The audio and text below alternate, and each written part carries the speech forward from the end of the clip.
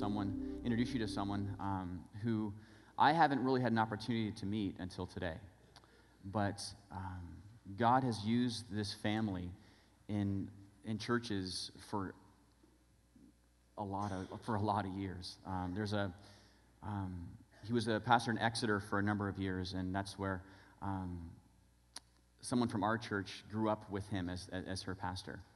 And um, then spent some years in Cambridge, or, sorry, in, um, in London. Took a church through a building program and just brought that church into a place where it's reaching people for the gospel of Jesus Christ in a very powerful way. But I think the, the, the greatest um, testimony of his life is that um, talking to some people as they describe Kevin is that he's friendly, sincere. But what really struck me is this person said that, um, that Kevin truly cares about people. He cares about their hearts, he cares about their soul, and he loves Jesus. So, Kevin Rutledge, would you please come? Uh, we've been praying for this day. We've been praying that God would give you exactly what we at Emmanuel need to hear. And we want you to know that we are blessed to have you with us today. Thank you. God bless you. Let's welcome him today. Thank you.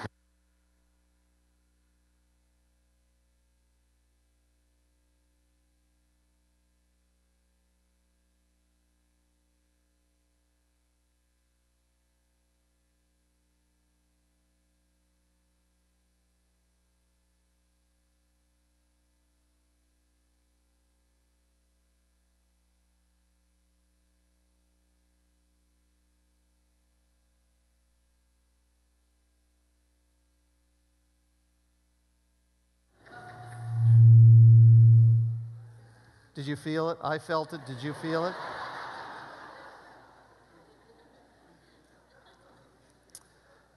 That's good. We have had uh, we've had kind of an interesting, a long uh, connection with this church uh, through, in one part, a couple of your pastors. In fact, I, I just had lunch yesterday with Pastor Phil Stairs, and uh, Pastor Rick Baker and I go back to uh, childhood.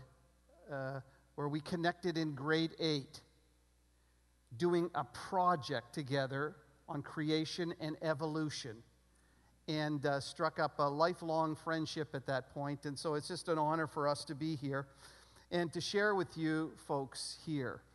Uh, and, and yes, Lauren Medemblick, I was her pastor for 18 years. And uh, so it's neat to see some of these connections again. Um, you know, there are a lot of great familiar stories in the Bible, and I want to read one for you this morning from Luke chapter 9. If you have your Bible, it would turn there. Um, let's, uh, let's go to a, uh, a very familiar old story. Luke chapter 9, beginning at verse 10. Uh, Jesus had sent the disciples out on a ministry trip. He'd uh, he wanted uh, them to go out and get their hands uh, dirty, if you will, to go out and get some experience in ministry. And as they came back, um, they wanted to, uh, Jesus wanted to get them away uh, to process, to debrief after this. And, um, and here's this famous old story. Let's read it, uh, beginning in verse 10 of Luke chapter 9. When the apostles returned, they reported to Jesus what they had done. He took, uh, he took them with him, and they withdrew by themselves to a town called Bethsaida. But the crowds learned about it and followed him. He welcomed them and spoke to them about the kingdom of God and healed those who needed healing.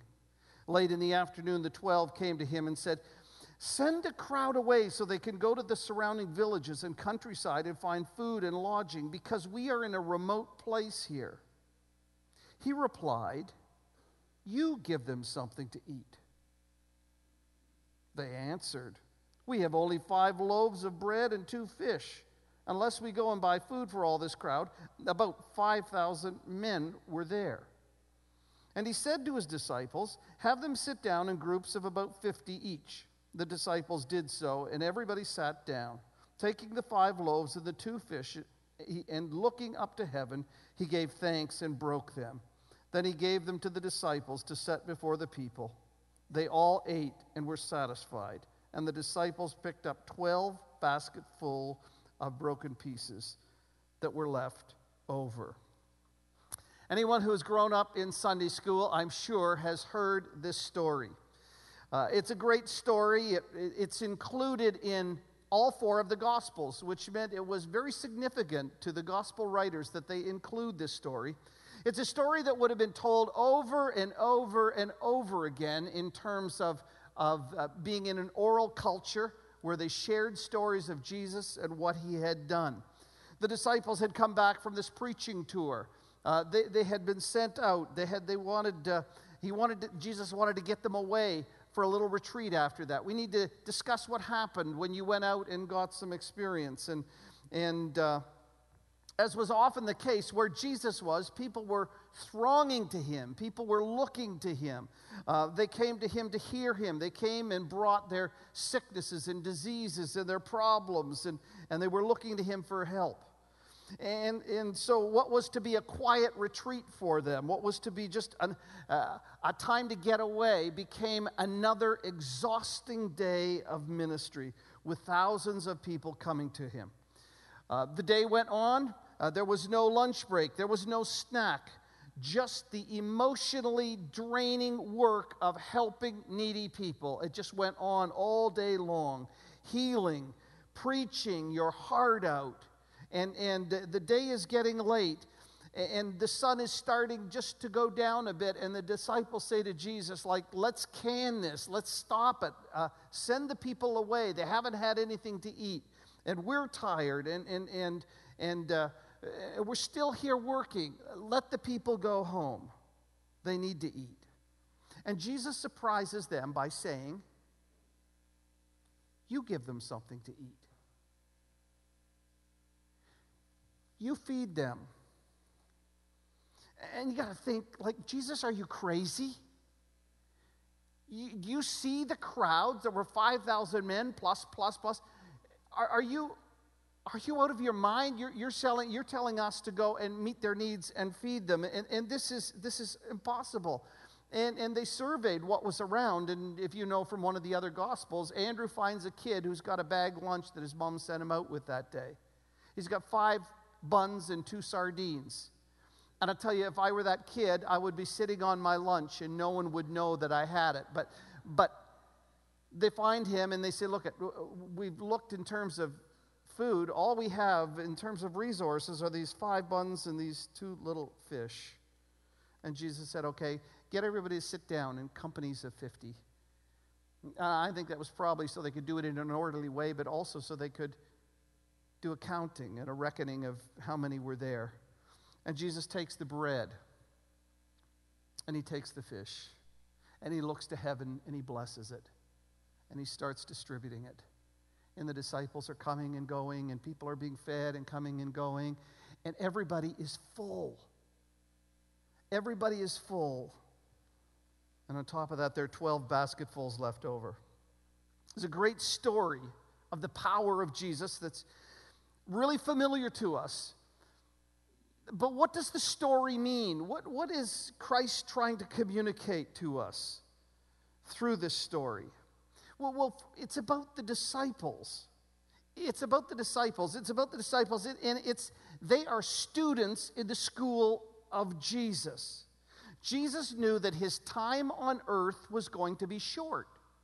He was only here for a, a, like a three, three and a half year ministry, uh, public ministry time, and he was going to be gone. But he wanted his work to carry on, and so he needed to train his disciples. And so when he had lots of disciples, but he chose 12 of them and called them to be apostles. They traveled with him, they, they listened to him, and he instructed them. They were students in the school of Jesus, and he was helping to prepare them for service. He was preparing them for when he would be gone and how they would carry on the work of his ministry. So they traveled with him, they helped him, they heard him, they watched him, uh, they were with him night and day, they studied his life. They had private times of teaching and private times of explaining, but you could only do so much by learning that way. And Lauren, being a teacher, you know that sometimes you go through teachers' college, but you need to do a practicum, right? You need to go out. If, if you're a mechanic, it's, it's not good enough to look at manuals and understand. You've got to get some grease under your fingernails. If you study the piano, you can't study the theory. You've got to get your hands on that and play. And, and so, so the disciples are sent out for their first practicum. They're going out and, and they're getting a, a, a hands on taste of ministry. And, and um, Jesus gives them instructions and sends them out. And if you look back to chapter 9 of verse 1, it says this When Jesus had called the 12 together, he gave them power and authority to drive out all demons and to cure diseases, and he sent them out to preach the kingdom of God and heal the sick. Uh, Jesus commissioned his disciples. He, he said, to, You know, I, I am authorizing you to go out in my name and to serve in my name, to go out and bring the good news of, of the kingdom in my name, uh, to heal in my name, to cast out demons in my name. Not only did he give them the authority and commission them to go, he gave them the empowerment to do this so that when they come back, like they're blown away. Demons are being cast out, people are being healed, and they're like, they're, they're just awestruck by this. And they come back, and it's supposed to be this time where they get together and tell Jesus what happened, and, and Jesus helps them to, to debrief and understand what was going. But, but Jesus wanted to replicate his ministry in them. Do you notice how they're doing the same things that Jesus was doing? The, he authorized them for that, he empowered them for that. But they had to learn something. They had to learn this total dependency. They had to learn if in the school of Jesus, if they were going to be successful in ministry, that they would have to be dependent on him. Look at verse 3. It says, it says there, he told them, Take nothing for the journey no staff, no bag, no bread, no money, no extra tunic. Whatever house you enter and stay there until you leave that town. If the people don't welcome you, shake the dust off your feet when you leave their town as a testimony against them. So they went out from village to village, preaching the gospel and healing people everywhere. They had to learn total dependency. And Jesus did something that, I don't know, it, it just, it kind of sounds a little foolhardy to me. It's something that a missions organization would definitely not do today. Uh, to say, all right, I, I want you to go out and I want you to serve, but now I don't want you to take anything with you. You don't take a wallet, you don't take money, you only have one change of clothes, you don't take two, two of anything. You go with the bare minimum, with the shirt on your back. And we would say, like, that's, that's crazy. That, that, that's, that's nuts. But what Jesus was helping them to do is see this. The only way you can ever be successful in ministry is if you're totally relying on me. And if you're relying on yourself and what you have, it's not going to happen for you. And so he strips them of everything and sends them out in reliance upon him, only trusting in him. And so they go out with nothing. I think there's a word of instruction to us here. Uh, there's, there's a tendency for us to want to replace trusting God with other things to do his work. Uh, there's a tendency for us to be dependent not on God and on prayer, but on clever schemes, on techniques, on programs, on technology, on sociological studies. And we kind of think like if we get the right mix of resources, and, and we have the right, the right uh, studies and we have the right program, that when those things all come together, we'll be successful in ministry. And we expect them to do what only God can do. I was heartened to hear this morning in the announcements, Mark, that you said we've got a three day focus on prayer. That's just saying that, God, we can't do your work without you. And that's why we call on you in prayer. That's an expression of dependency upon God. And so, and so uh, here they are, having been condition, uh, commissioned and authorized and empowered, they go out to do the work of God on behalf of Jesus. He sends them out with nothing, and they come back with glowing reports of what happened. Now, I don't know about you, but but sometimes, if you have a little bit of success in ministry, it can go to your head, right? Like you're, you're a fairly new Christian and, and and you taught a class, and some people said, Hey, you did a really good job. And you, you thought you were Billy Graham. You thought, like, man, I am good. Um, and, and, and so sometimes a little bit of success can cause us to be a bit self reliant. And these guys are not done in terms of their preparation. Their preparation is, is ongoing. And so Jesus, Jesus says to them, after all of this good stuff has happened, and after this long, exhausting day of ministry, uh, they say, Lord, send them away. Like, we're starving, and they are too, and they've got to eat. And Jesus says, You give them something to eat. Say, Lord, we can't, we can't do that. It's, it's a logistical impossibility. There is not enough food. We're, we're in a remote place. You, there, there's not like, there's not Arby's and Burger King and McDonald's and Dairy Queen that we can send people away. There's nothing. And if we even had money, we wouldn't have enough money to buy something for them, but we wouldn't find a place. And Jesus said they have a need, and you meet that need. And so the Jesus who taught them to go out with nothing, with no bread, no money, no luggage, is telling them now in the school of Jesus feed them. What they need is help from the Master. This is going to be a lesson on dependency. They just returned from successful ministry, but they couldn't do what Jesus was now asking them to do. They couldn't do that by themselves. So they gave to Jesus what they had, and he provided for the needs of the people. They said, oh, Lord, all we have is just this little, these few buns and these couple of sardines. And from that, God made for a bountiful provision so that everyone was filled. And in fact, there are 12 basketfuls left over. And my oh my, there are 12 disciples. There was enough to take care of their needs and even to provide for them the next day. They needed to learn a lesson that they weren't in this alone, that they couldn't do it alone, that Jesus would have to work, that Jesus would have to do something if they would ever be successful in ministry. And he could do miraculous things with the little that they would offer to him.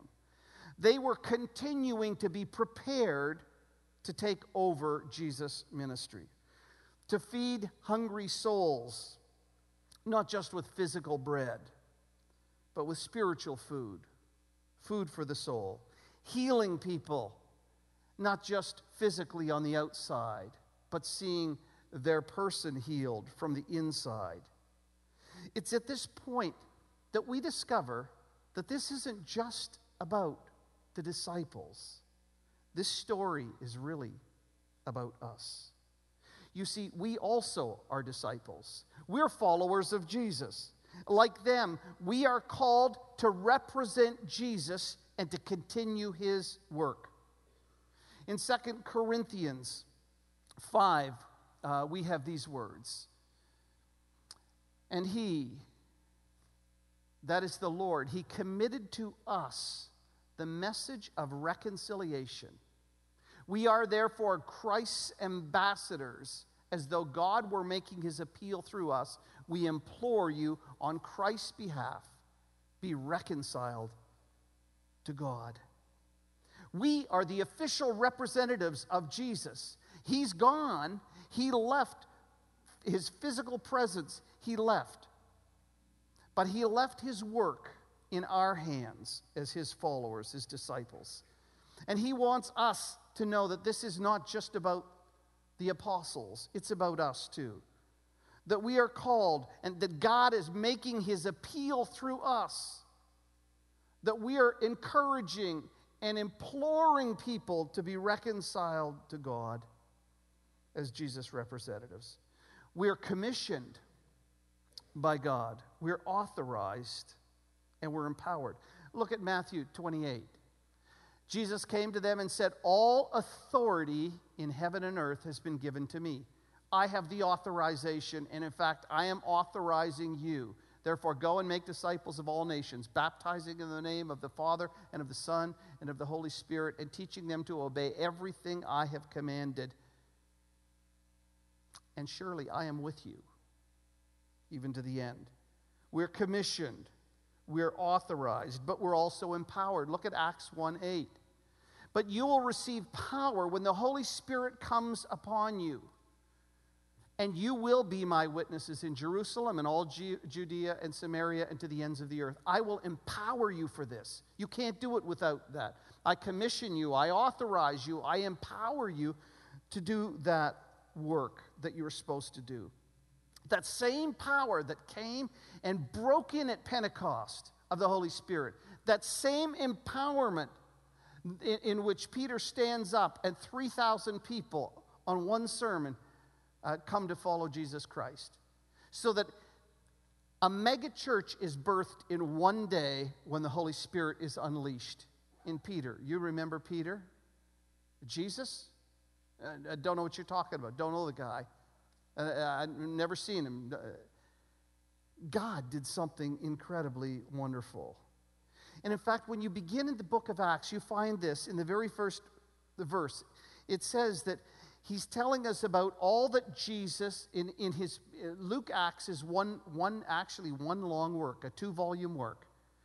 And, and, Luke, when he starts the book of Acts, says this um, In my first vol- volume, Theophilus, I told you all that Jesus began to do and teach. What do you mean began? Because Jesus continues to do and teach through his followers. Oh, he ascended to heaven, but he sent the Holy Spirit to empower them to continue the work of God. And he is still bringing good news to the poor, forgiveness, transformation, healing lives. And he continues to encounter people through his church. And it is a daunting task to continue the work of Jesus. And, and, I want you to know that we have an impossible task. Do you know that? Do you know that we have an impossible task? When Jesus said to the disciples, um, He said, You feed them. They're thinking, Lord, are you crazy? It's impossible. We can't do it. You know, Jesus is very happy when we get to the point where we recognize that we can't do it without Him. And, and so He says to us, in the same way, feed them. Go and make disciples of all nations. Uh, go and tell people. Go and see their lives healed and see them turned around, see them transformed, so that even the complexion of a community can change. Families can change. And they say, well, you know, it's impossible. We, we, we can't do it. And when we get to that place, we're in a very good place when we recognize that we can't do it. That if it's going to happen, it's going to be that Jesus does it. How will people change the whole orientation of their life? Do you know what Christ calls us to? Do you realize how radical that is? That, that, that Christ would be the center of everything we are and have, that He would be the, the, the organizing principle out of which everything in our life flows whether it's our work or our family or our entertainment or, or, or a leisure activity, whatever it is, that He is the center of it. And everything is done eh, to honor Him. I, I mean, to be released from the self centeredness of our life, to have our morals change and our habits change and our priorities change, to see sinful addictions broken in our life. Those things are miracles that only God can do. We can't do it. How do we then do this work of feeding them, reaching them, loving them, seeing their lives changed? I want to give you just a few points. The first thing I think we do from this passage is to take stock. We have an impossible task.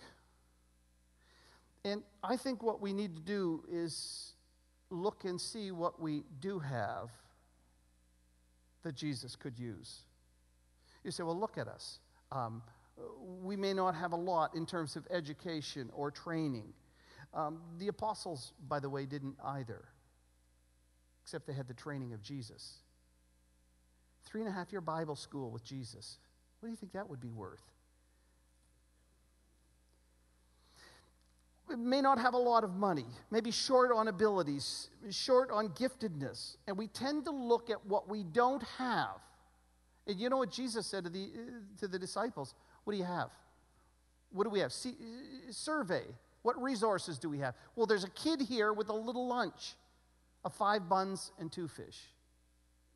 That's all we have. I can't do anything with that. Give it to me. Take stock in terms of what you have. And let me ask you this question What do you have? What do you have that you could dedicate to Jesus? What has God given to you? And when you think about that, all of us, or maybe a lot of us, would, would, would say, Well, all right, I'll take stock. What do I have? I, I, I suppose I have, and then put a but after that. I mean, I love kids, but what good is that? I, I have a van. Um, I'm good at organizing. We have a nice home with a huge family room. I can repair cars. I'm handy. I'm a great cook. I can sew. I can do electrical work. I can coach soccer. I can play guitar. I'm a teacher. Uh, I do taxes and finances. I'm old and physically I can't do much anything more, but I love to pray. I'm good at talking to people. What do you have? Take stock of what you have. And, and, and when you do that, don't make an excuse and say, but, but it's only this. And then, secondly, offer to Jesus what you have. You say, well, it isn't very much. It's, it's just like two sardines and five buns. What can you do with that? Give it to Jesus. Do you know why Jesus, you know why Jesus loves this?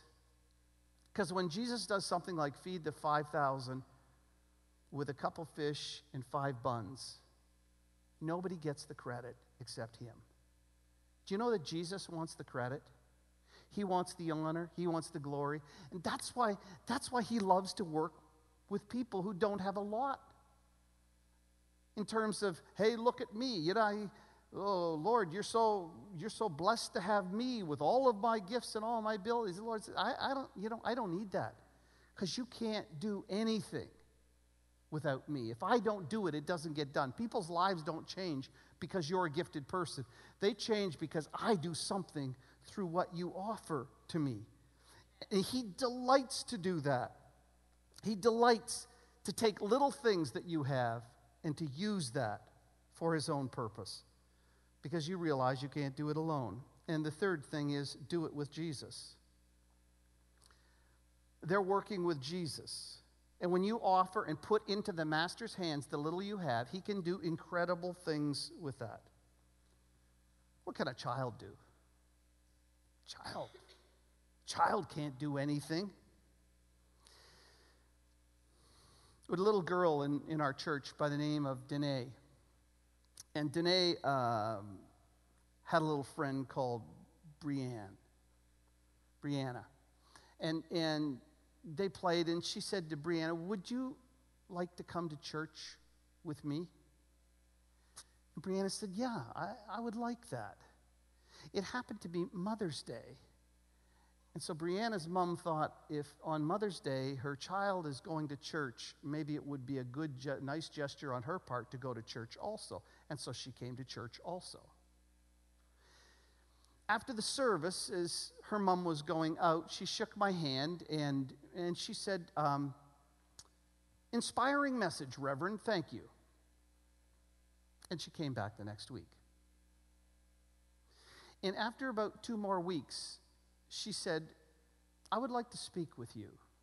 Can I make, can I make uh, an appointment to come and talk to you? I said, Sure. We set up a time. And on the appointed time, she came into my office and she bought, brought a, a stack of paper about so high, and she sat it on my desk. And she said, This is my life. Uh, she was a professor at the university. And these were all, uh, her, uh, uh, her published articles and, and uh, papers that she had done. And she said, This is my life. And we began to talk uh, about what, what her life meant and, and what her needs were. And, and, and in, the, in the throes of this conversation, she said, um, she came to the conclusion, which I never said, that she wasn't a Christian. I didn't say that. I'm just telling her and letting her evaluate her life. And she went away thinking, because she'd always kind of thought of herself, she went to church as a kid. And, uh, and, and so she came back and, and uh, to church the next week and the next week. And then God did something, and He turned on the light. And after service, uh, that Sunday, she stayed in her seat, and everybody left. And I went and I, uh, I sat down and, and I said, uh, What's up? She said, Can I talk with you? And God had opened her heart and prepared her. And she became a follower of Jesus at that moment. What can a little kid do? What can a 10 year old kid do? She can make a, she can make a connection so that a university professor can come to faith in Jesus Christ. I never forget the next Sunday that her mom came out. She came and was just beaming. She said, You won't believe, I've been reading my Bible. I've read the Bible a tiny bit in my life, but the words were jumping off, my, off the page at me. God had changed her heart and her life. It was a miracle. But it started with a little kid. What do you have to offer to Jesus? To do something with Jesus? Uh, I want to put a picture up on the screen for you. Uh, this man's name is Phillip Johnson. Uh, you may not know him, uh, probably most of you would not. He grew up, uh, went to Sunday school a little bit as a kid in Aurora, Illinois, just outside of uh, Chicago, in what he would call a secular home. He studied law and offered, was offered a position at Harvard, but offered, but rather took a position at University of Cal, uh, California, Berkeley campus, at uh, teaching criminal law. He, he, he describes himself as a perfectly ordinary, middle of the road, secular rationalist. He was bored with life, bored with his work, found his academic uh, career uninspiring and shallow, considered himself a nominal agnostic and very unfulfilled in life. His wife left him and their children to pursue a career in artistic politics. I don't even know what that is. And he was left alone to raise his children. He needed some help, and uh, a local church in their neighborhood uh, was having what we would call a daily vacation Bible school. Mark, you were making an appeal for people to sign up and help.